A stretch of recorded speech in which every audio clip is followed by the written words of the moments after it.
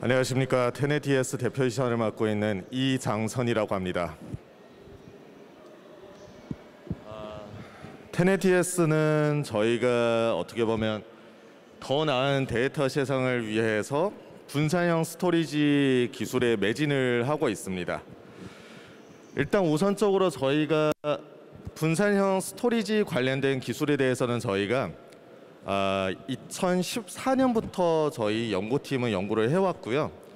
2014년부터 연구를 하게 된 계기 중에 가장 중요한 계기는 데이터 유출, 아, 개인정보 유출이 너무 아, 많은 사건 사고들이 터지다 보니까 이 데이터를 지금 저장하고 관리하고 있는 그게 기관이 될 수도 있고요. 아니면 민간 기업이 될 수 있는데 정확히 이 데이터를 할 수 있을까? 관리가 제대로 이루어질까? 이 부분에 대해서 저희가 착안을 하고 2014년부터 연구를 해왔고요. 그리고 저희가 분산형이라는 저장 기술을 연구하는 2014년에서 2015년쯤에 IPFX라는 분산형 차세대 기술을 저희가 아, 발견하게 됐습니다. 그래서 우선적으로 저희 회사를 소개하는 소개하기 전에 먼저 저희가 지금 연구하고 있는 IPFX 기술에 대해서 먼저 간단하게 소개해드리겠습니다. 일단 2014년부터 저희가 작금의 오늘날까지 지금 지켜본 결과 저희가 일상생활에서 가지마, 가장 많이 일어나는 것들이 어떻게 보면 해킹 데이터 위변조 그리고 개인정보 사생활 유출 그리고 느린 인터넷 속도 그리고 서버 다운이 가장 많이 일어나고 있습니다. 아, 일단 제가 정확히 기업명을 말씀드릴 수 없지만 최근 오랫동안 가장 큰 공룡 기업들이 10개사 이상 개인정보하고 사생활이 유출이 다 됐습니다. 그리고 얼마 전에도 또 유사한 사건이 발생을 했고요. 그러면 저희가 봐왔던 요즘은 가장 이슈가 되는 만물 인터넷 아니면 특히 최근에 트렌드 되는 NFT 아니면 또 최근에 가장 이슈를 받고 있는 전 세계적으로 중앙은행에서 각 국가에서 중앙은행에서 발행하는 중앙은행 가상자산 하지만 이런 것들을 가장 아무리 기술이 발전하고 아무리 어떻게 연구를 해도 그 베이스는 모두 다 데이터로 이루어지고 있습니다. 그러면 저희가 이때 저희가 깊이 생각해 봐야 될 것이 과연 그 데이터를 제대로 관리하고 있을까? 그래서 저희가 2015년부터 IPFX라는 기술을 집중적으로 좀 파고들었습니다. IPFX 기술은 쉽게 말씀드리면요.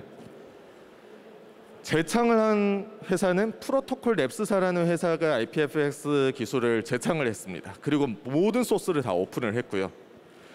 그와 동시에 전 세계에 있는 연구팀들, 연구소들이 IPFS 오픈 소스를 가지고 연구를 하기 시작했습니다. 그러면 그 메커니즘에 대해서 간단하게 먼저 소개부터 드리겠습니다. 일단 중앙화 데이터 저장 방식은요. 10년 전이든 20년 전이든 지금도 똑같은 방식을 쓰고 있어요. 데이터를 단순 복사해서 중앙화 스토리지에 저장을 하고요. 중앙화 스토리지에 저장한 거를 또 중앙화 스토리지에 백업으로 저장을 하고 그리고 더 안전에 기이는 기하는 기업들은 그 중앙화 스토리지를 3차 백업을 합니다. 근데 아시다시피 어, 이커머스 사업이나 IDC 사업을 해보신 분들은 아시겠지만 이 서버를 백업을 하기 위해서 똑같은 서버를 하나 추가 하나 추가하는데 어마어마한 자산이 들어갑니다. 경제적이지 못한다는 말씀을 드리고 싶은 거고요. 그러면 이 중앙화 스토리지에 어떻게 보면 저희가 데이터를 저장했을 때 과연 안정성은 확보가 되느냐? 솔직히 말씀드리면 저희가 지금 네이버든 구글이든 검색을 해보시면요. 해킹으로 인해서 위변조로 인해서 지금 이슈가 되는 사건들을 뉴스에 쫙 나열해서 나올 겁니다. 그리고 속도가 많이 느립니다. 저희가 항상 소셜 네트워크 업체들은 가장 무서워하는 날이 1월 1일이지 않습니까? 그 1월 1일이 되면요. 거의 모든 스토리지는 폭발 직전까지 갑니다. 새해 인사부터 시작해서 문안 인사까지 가면 기존의 중앙화 스토리지 그런 서버들은 뒷받침을 해줄 수가 없는 구조를 띠고 있어요. 그러면 저희가 이러한 기술을 혁신하기 위해서 어떤 기술을 좀 대체할 수 있는 기술이 뭐가 있을까 14년부터 연구를 하면서 그 찰나에 저희가 IPFS 웹 3.0 차세대 기술을 발견한 겁니다. 간단하게 메커니즘을 설명드리면요.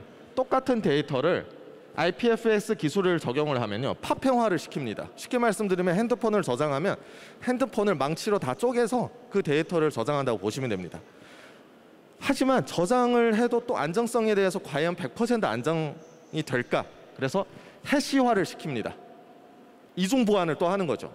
이미 해시화 작업이 들어가는 순간부터 모든 데이터는 그 실제 소유자 이외에는 최고 권한을 갖고 있는 플랫폼 관리 운영자도 그 데이터가 무엇인지를 알 수가 없어요. 근데 그거를 저희가 또 라벨링 같은 것들을 통해서 스토리지에 다 분산해서 저장을 합니다. 이게 IPFS 분산형 저장 방식이라고 보시면 돼요.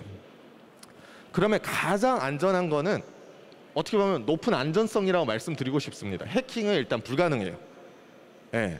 그리고 현재 전제하는 저장 기술 중에 가장 프라이버시에 뛰어난 기술입니다.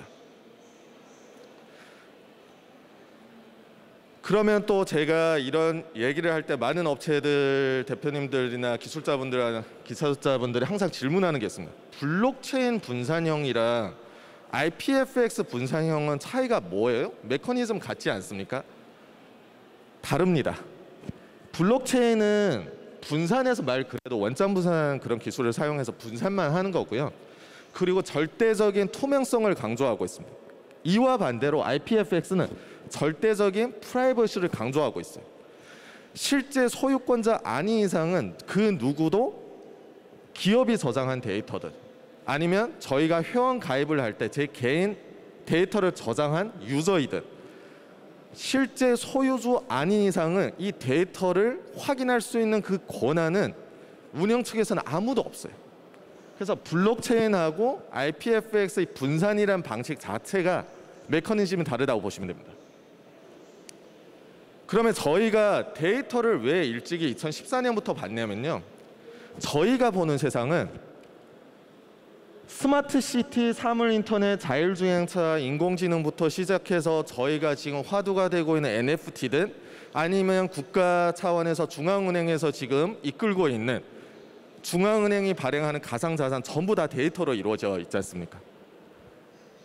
나중에 저희가 살아가는 세상에서 데이터하고는 분리가 될 수 없는 구조를 갖고 있어요. 그러면 가장 원천적인 기술이자 가장 중요한 기술이 뭘까? 저희가 분석을 해본 결과 일찍이 이미 2010년부터 시작해서 내년이 2022년까지 모든 데이터 글로벌에서 전 세계에서 하루에 발생하는 데이터 양은 제타바이트로 계산을 합니다. 그냥 제타바이트로 계산한다고 하면요. 데이터를 저장 서비스를 하는 업체들도 이 개념을 잘 모르세요.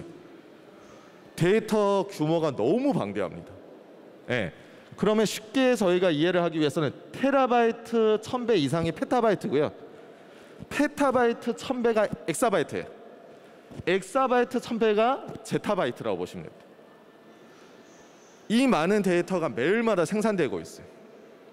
만약에 가상자산, 소위 말하는 사물 인터넷, 스마트 시티, 인공지능이 진짜 우리나라 어떻게 보면 전 세계적으로 활성화되는 순간은 이 데이터량이 또 폭증을 합니다.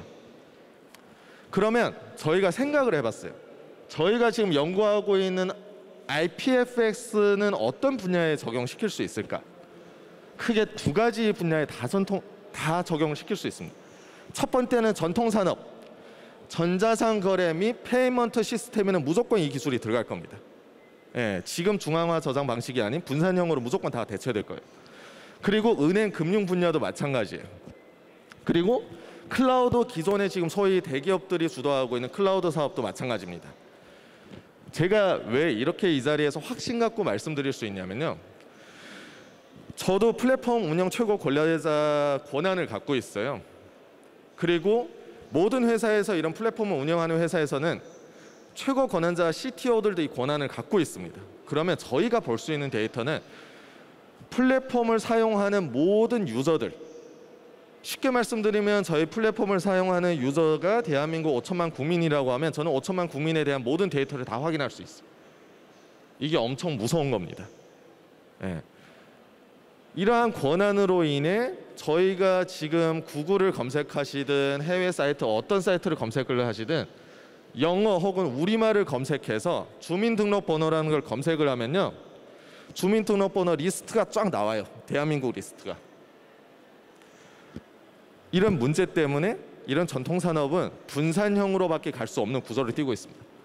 차세대 산업은 중앙은행 디지털 화폐 이쪽도 투명하게 하는 것도 좋지만 나중에는 저희가 솔직히 말씀드리면 우리나라도 신용카드부터 시작해서 예전에 현금을 쓰다가 신용카드를 쓰고 신용카드를 쓰다가 요즘 2030 세대는 카카오페이나 일단 페이 QR코드를 스캔해서 간편 결제하는 거를 지금 바뀌어지고 있죠. 그러면 중요한 거는 데이터를 또 위번조할 수 있다는 문제가 생겨요. 그러다 보니 중앙은행 발행한 디지털 화폐도 마찬가지고 현재 많은 국가에서 운영하는 가상자산 거래소도 마찬가지고요. NFT도 마찬가지고 메타버스도 가, 마찬가지고 IPFX 같은 분산형 저장 스토리지는 쓸 수밖에 없는 구조를 띠고 있습니다. 근데 IPFX를 연구하시는 분들도 저한테 질문을 하고 아니면 다른 분산형 하시는 분들도 저한테 많은 질문을 하는 이유 중에 하나가 IPFX는 공용 네트워크밖에 적용하는 게 아닙니까? 이 질문을 해요.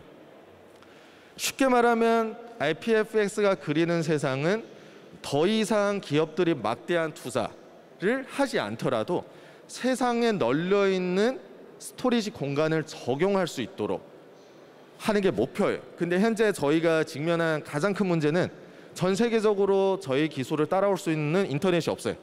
더 쉽게 말씀드리면요. 인터넷 속도가 너무 느립니다. 네.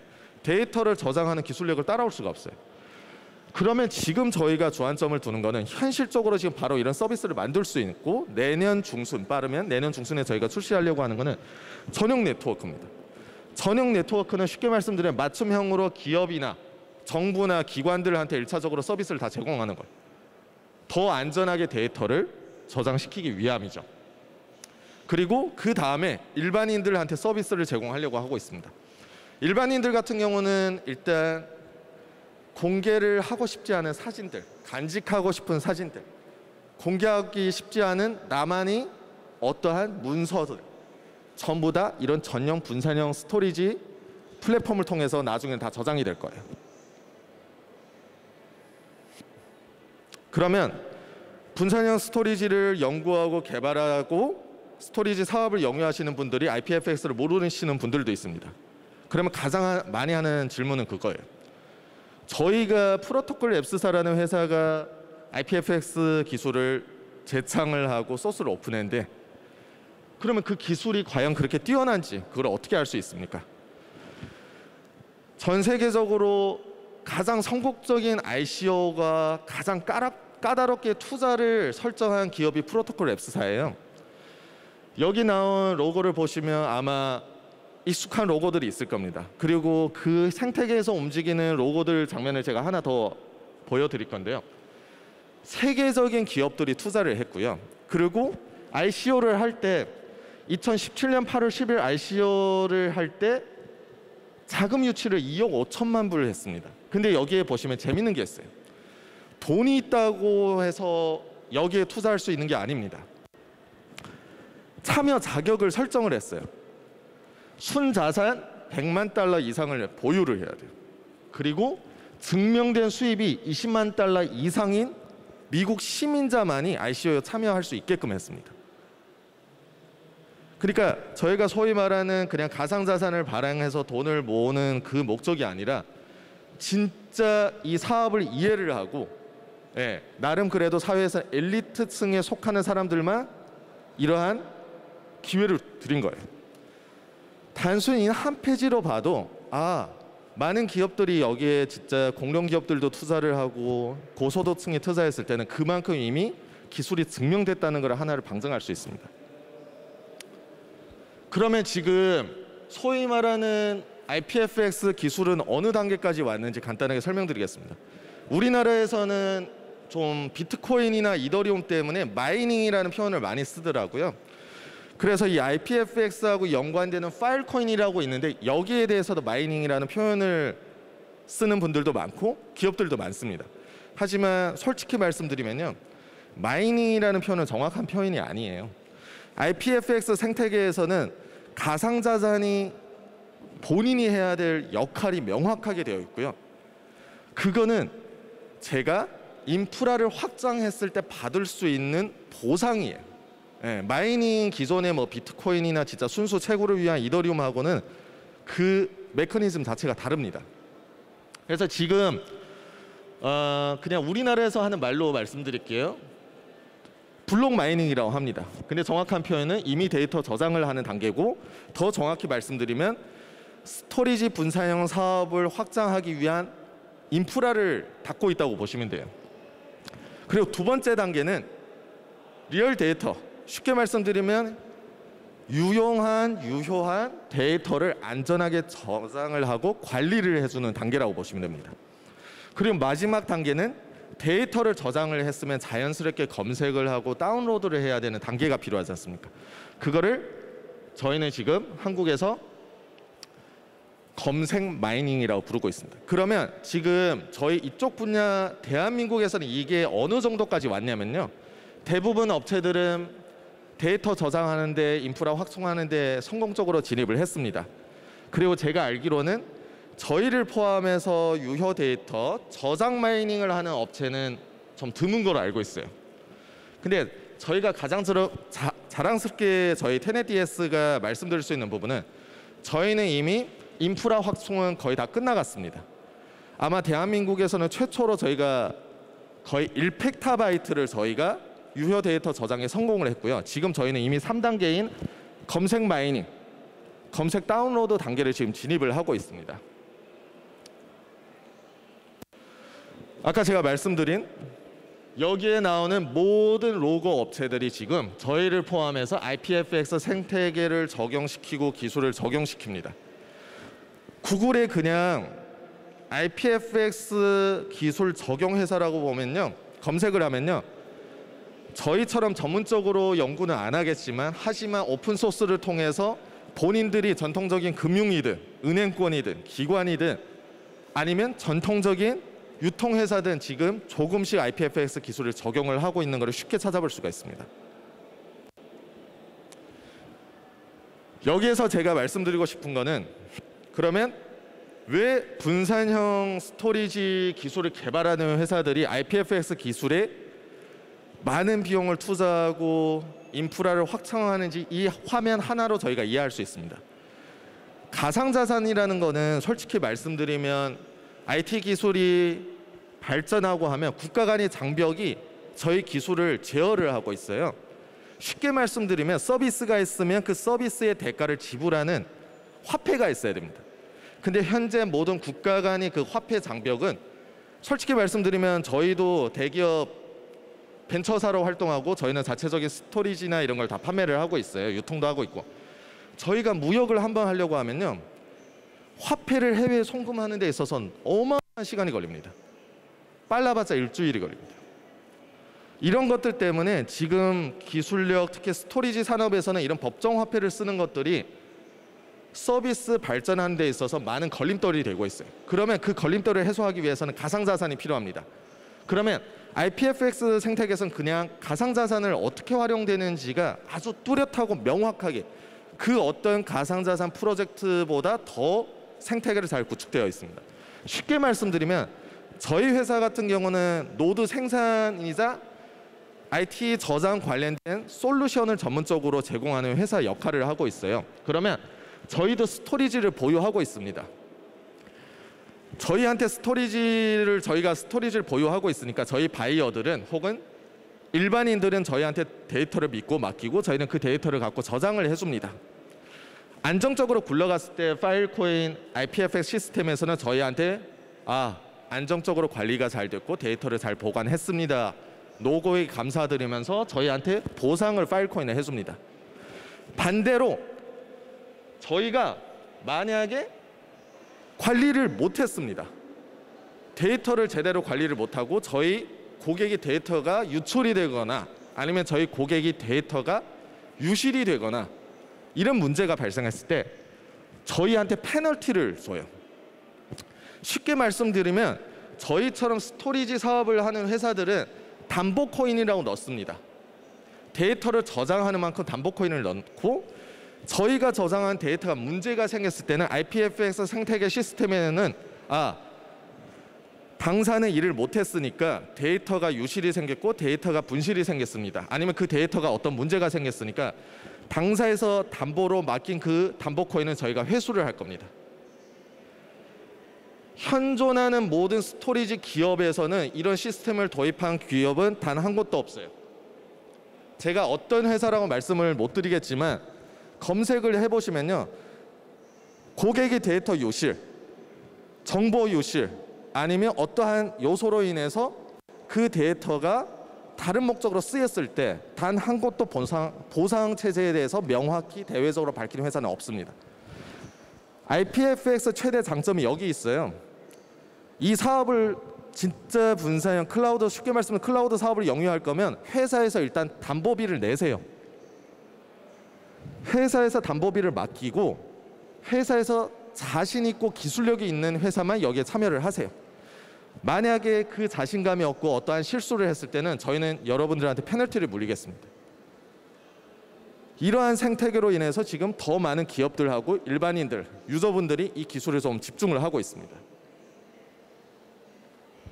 그러면 이 과정을 살짝 말씀드리겠습니다. 너무 전문적인 기술 들어가면요, 좀 따분하기도 하고, 예. 일단 뭐 솔직히 저장 전에 필요한 사항은 device storage 서버랑 C언어랑 아까 제가 말씀드린 담보가 필요해요. 회사에서 무조건 넣어야 되는 담보. 그리고 sealing 쉽게 말하 말씀드리면 저장을 하는 과정에서 소모되는 가스가 있습니다. 그 가스도 회사에서 부담을 하고 가상자산 넣어야 됩니다. 실링하는 과정은 크게 저희가 P1, P2, C1, C2로 나뉩니다. 그럼 제가 아까 말씀드리다시피 데이터를 어떻게 보면 파평화 유리 조각 내듯이 조, 어떻게 보면 조각화를 시키고 해시화 쉽게 말씀은 암호를 다 했는데 이 데이터가 전체 전체를 보여주지 않은 채로 그 데이터를 갖고 있다는 걸 증명을 해야 되지 않습니까? 그러면 여기에서 차세대 기술인 영지식 증명이라는 기술이 필요합니다. 물론 저희가 고객이 데이터를 확인할 수 없어도 저희가 이 데이터를 안전하게 지금 갖고 있다는 것을 영지식 증명으로 보여주는 거고요. 그러면 그 데이터가 저장을 했을 때 과연 그쪽에 저장이 계속 안정적으로 되어 있는지를 또 증명할 수 있는 시공간 증명이 있습니다. 이 시공간 증명 같은 경우는 데이터를 저장하고 서버 소유자는 데이터가 온전하게 안전하게 저장되어 있다는 것을 IPFX 시스템에 증명을 해야 돼요. 우리는 잘 보관하고 있습니다. 그러면 이거를 하루 48번 이 하루 동안 48번이나 이거를 증명을 해야 돼요. 만약에 2일 동안 이거를 증명 실패를 하면 여기에서 또 저희가 회사에서 페널티를 받습니다. 네. 그러니까 IPFX 분산형 저장 기술은 절대적으로 무조건 무조건 이거를 데이터 보안에 목숨을 건다고 보시면 됩니다. 일단 시간 관계상 빠르게 지나가겠습니다. 어, 우선적으로 일단 저희 회사를 그럼 간단하게 소개해 드리겠습니다. 일단 테넷 DS는 아까 말씀드린 대로 저희가 회사 법인은 금년도 8월 5일 날에 설립이 됐고요. 하지만 저희 연구팀은 일찍이 2014년부터 저희 연구팀은 분산형 storage에 어, 연구를 시작을 했습니다. 그리고 저희 뭐 수상 이력 같은 경우는 연구팀에 많이 받았고요. 그거를 지금 꾸준히 계속 현재 IPFS 분산형 storage 이쪽 기술은 저희가 전 세계적으로 아마 top 3에는 든다고 자부를 하고 있습니다. 일단 저희가 IPFS 기술은 2015년에 출시되었지만 저희는 2014년부터 이미 쭉 달려왔고요. 그리고 IPFS 기술을 너무 저희가 좋게 보다 보니 지속적인 투자를 하면서 기술 개발에 연구를 많이 해왔습니다. 그러다 보니까 open source 과연 어떠한 testnet에도 저희가 전 세계적으로 항상 랭킹 1위를 달렸어요. 지금도 마찬가지고요. DS가 지금 지향하고 있는 것은 크게 세 가지를 보고 있습니다. 빠르면 대한민국에서 최초로 IPFS 분산형 storage 전문 R&D 연구소를 저희가 구축을 하려고 하고 있어요. 왜냐하면 저희가 지금 해외에 있는 모든 자산을 한국으로 다 끌고 오고 있습니다. 저희가 분석한 결과 대한민국은 가장 더 좋은 testbed라고 생각을 하고요. 한국에서 저희가 최대 노드를 구성하려고 지금 준비하고 있습니다. 그리고 내년도 중순쯤이면 아마 세계 최초라고는 말씀을 못 드리겠는데요. 대한민국 최초로 저희가 진정한 탈중앙화 분산형 IPFS storage 서버 서비스를 제공할 예정입니다. 그리고 이러한 서버를 제대로 데이터를 안정적으로 서버를 관리하고 데이터를 안정적으로 하기 위해서는 저희가 지금 차세대 데이터 센터를 지금 고민하고 있는 거는 있습니다. 이거는 좀 직접적으로 언급하기는 어렵지만 지금 해외에는 모 대기업하고 새로운 모듈화 IDC를 지금 보고 있습니다. 그러면 일단 파일코인이라는 것을 보상 체계로 쓰면 그러면 아무리 얘기해도 테넷 DS 기술력을 어떻게 증명할 것입니까? 간단합니다. 저희는 일단 device 구성부터 시작해서 최적화를 실현했고요. 알고리즘은 저희가 저희 것만의 독특한 알고리즘을 쓰고 있습니다. 그리고 가장 이 IPFX 업계에서도 잘 모르는 OSP라는 저희가 독자적인 소프트웨어 개발이 했고요. 쉽게 말씀드리면 이 아이가 속도를 실링, 저장 속도를 폭증시켜 줍니다. 그러면 기술은 기술자들이 봐야 이해를 하니 저희가 기술이 뛰어나다는 것은 요한 장으로도 설명드릴 수 있습니다. 24시간 평균 수익이 저희가 0.0390 파일을 보상을 받아요. 옆에 슬라이드 이쪽 보시면요. 여기는 전 세계 top 10에 드는 기업들입니다. top 10에 드는 기업들보다 저희가 더 많은 보상을 받고 있습니다. 여기서 증명할 수 있는 거는 그거는 뭐 저희가 수익을 얼마 냈다 이거는 중요한 게 아니고요. 저희 기술력이 그만큼 안정적이고 선두를 달리다 보니까 시스템상 IPFS 생태계에서 저희한테 그만큼 보상을 준다고 보시면 됩니다. 저희가 8월 5일 날에 대회 어떻게 보면 8월 5일 날에 저희가 테네티에서 설립하고 대한민국에서 과연 저희가 분산형 IPFX 기술에 대해서 제대로 이해를 하고 이거를 할 수 있는 기업들을 저희가 시장 조사를 해봤습니다. 그리고 저희가 아쉬웠던 거는 너무 FM대로 과거의 방식대로 쓰다 보니까 효율이 너무 낮아요. 그래서 저희가 한번 한 업체에 저희가 테스트를 했습니다. 어떻게 보면 그 업체에서 먼저 솔루션을 저희한테 달라고 요청이 온 회사고요. 테넷DS가 컨설팅을 제공한 타 업체 사례 같은 경우는 그 업체 똑같은 device와 그 업체가 기, 갖고 있던 기술력을 했을 때 하루에 147테라바이트밖에 sealing을 못했습니다. 근데 저희는 그 업체 device를 구성만 바꾸고요. 테넷DS에서 저희가 개발한 OSP 기술력을 했을 때 정확히 최소 3배 이상 테라바이트를 저장을 할 수가 있었습니다. 이게 저희가 갖고 있는 기술력이에요. 그리고 이거는 뭐 공증인 데이터 캡이라는 건데요. 데이터를 저장하기 위해서는 아무 데이터나 저장, 할수 없지 않습니까? 심판 역할을 하는 아이라고 보시면 됩니다. 근데 시간 관계상 제가 더 얘기하기는 그렇고요. 그리고 지금 대한민국에서 제가 당당하게 저희가 리얼 데이터 혹은 유효한 데이터를 가장 빠르게 가장 안전하게 저장할 수 있다고 제가 당당하게 이 자리에도 말씀드릴 수 있는 거는요. 데이터가 딱 나옵니다. 저희는 1펙타바이트를 리얼 데이터 유효 데이터를 성공을 했습니다. 블록 마이닝에서 저희는 하루에 마음만 먹으면 나중에 저희 노드 구성도를 보여드릴 건데요. 저희는 3,000 테라바이트 실링이든 5,000 테라바이트 실링이든 저희가 갖고 있는 풀에서 전부 다 실행 가능합니다. 현재 대한민국의 KT 상면 IDC를 저희가 쓰고 있지만 거기도 지금 300 테라바이트고요. 아마 지금 저희 기술력을 제대로 다 적용을 시키면 아마 빠르면 한 달 후에 대한민국 최초로 저희가 1000 테라바이트 실링이 가능하게끔 지금 KT 상면에 저희가 움직일 겁니다. 그래서 이런 데이터로 보면 저희는 이미 소위 말하는 한국에서 말하는 저장 마이닝 이미 다 성공을 했고요. 지금 검색 마이닝 갈 수 있다는 것을 확인할 수 있습니다. 이거는 그냥 사이트에서 검색을 해도 나오고요. 그리고 데이터를 저희는 아주 소중하게 보물처럼 다루고 있습니다. 그러면 저희는 전 세계 글로벌 표준에 부합되는 IDC만 선택합니다. 한국 같은 경우는 저희가 KT를 선택한 이유는 KT는 내부망이 있다 보니까 저희가 KT를 쓰는 거고요. 해외도 마찬가지입니다. 저희는 IDC를 방문은 저희 IDC를 방문하면 저희는 글로벌 표준에 맞게끔 다 되는 IDC만 딱 선택을 합니다. 이거를 선택하는 이유는 절대 지진이 나든 정전이 일어나든 네트워크가 끊기든 저희 데이터에는 절대적으로 손실이 가면 안 되기 때문입니다. 그래서 이런 거를 선택하는 이유는 일단 이런 글로벌 표준에 부합하는 IDC들은 냉각 시스템부터 시작해서 소, 소방 시스템, 뭐 전력 시스템, 보안 시스템, 심지어 전력이 끊기면 비상 전력이 돌아가고요. 비상 전력이 끊기면요, 저 이곳 가장 가까이 있는 주유소에서 기름을 땡겨 와서 발전시키는 그런 것도 다 되어야 됩니다. 일단 저희가 지금 테넷 DS 갖고 있는 아시아권에 있는 노드입니다. 저희가 지금 중국 같은 경우 중국부터 시작을 했고요.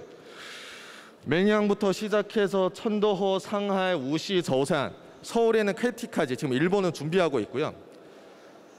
저희가 아마 지금 아시아권에서는 저희가 갖고 있는 노드가 최대라고 말씀 못 드리겠지만 대한민국에서는 명실상부하게 저희가 가장 큽니다. 규모도.